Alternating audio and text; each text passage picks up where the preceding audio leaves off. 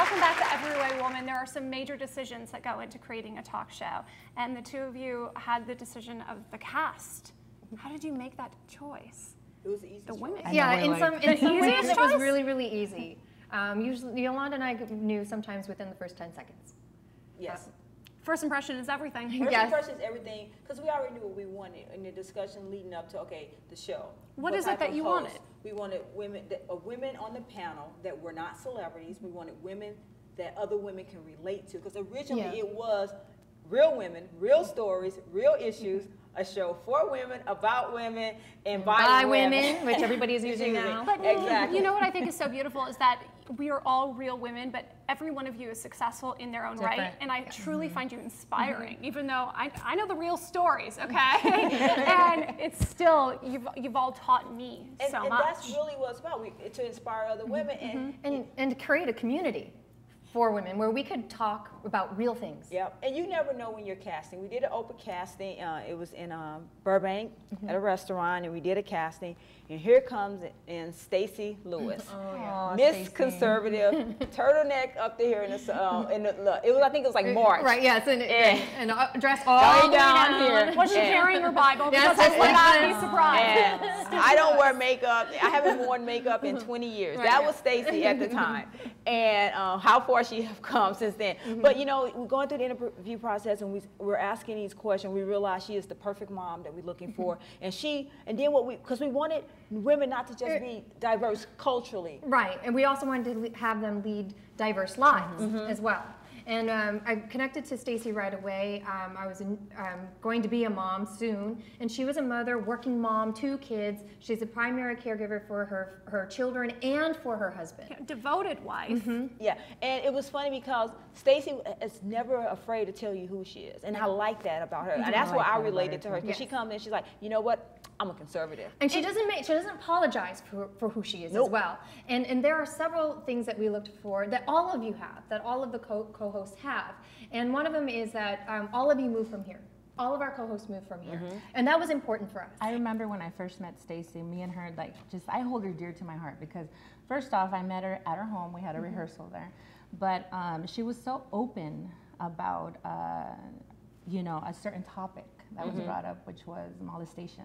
Yes. You know, and, uh, you know, not knowing, you know, that it had happened to me too, Mm-hmm. you know, or maybe, maybe knowing, but nobody really shared it. It really worked as therapy. And, Right, yes. and I looked at her as my therapist and all you And- guys. And, and that's that's the whole point of the show. I cannot cast. We cannot cast women that other women can't relate to. Right. Only way our show is going to be successful is that all the women actually are willing to open up and share And their stories. Yes, and care about about, other women Yes. as well. All of you have a quality where you care about other people. Mm-hmm. And that was really important to us, not just about yourself, but about your community, about getting out But to the community. don't get us wrong. We don't always get along. There's a difference of opinion here. Yeah, yeah. Because we're women, of course. and we're we have women. different opinions, and Yes. you know. And but uh, going back to Jesselyn, let's talk about Jesselyn. She is the most Oh, humble boy. person I have ever met, and she's are. the most giving, and sometimes too giving.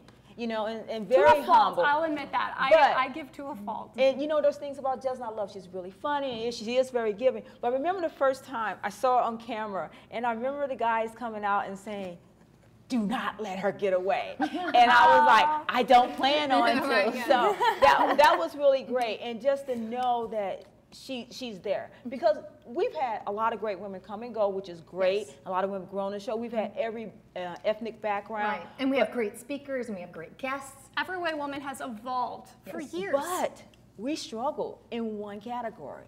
We could not find the Latina that we needed. And it was, it, was, it was so funny because we're in Los Angeles. I'm like, oh my God, why can't I find this woman? So one day I'm opening my email and I go, I know Gina, th- Gina, she's uh, she Thank you, has, Gina. Gina has sent me.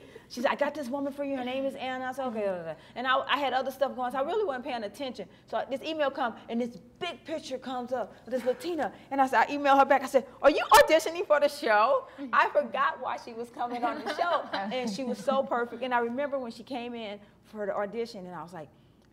I'm just gonna tell you what to so say. Right. I'm gonna tell you what to do because you already got the part. Right. and but what we what we really love about Anna is that um, you don't represent a stereotype. Exactly. And that's kind of what, what was a little frustrating for Yolanda and I is getting away from the stereotype. We aren't stereotypes. You know, we- all, all of you, you're not stereotypes. And I, I can relate to Anna because she's this Latina woman. She has her own business, and you don't have any kids, and that is breaking so many rules. Yes. You're Especially breaking. in the Latino community. Yeah. You're, mm-hmm. why don't you have kids? absolutely. You're breaking all the rules, but that was perfect for us. She's a trailblazer. She is a trailblazer. And she's inspiring, and we're looking for love that's together. why- Yes, yes. That's why we have our different women, different opinions, and we always have great, Great conversations. conversation. That's right. That's right. So- Thank you, the two of you, Thank for you. including us Thank in you. this show. More Every Way Woman when we return.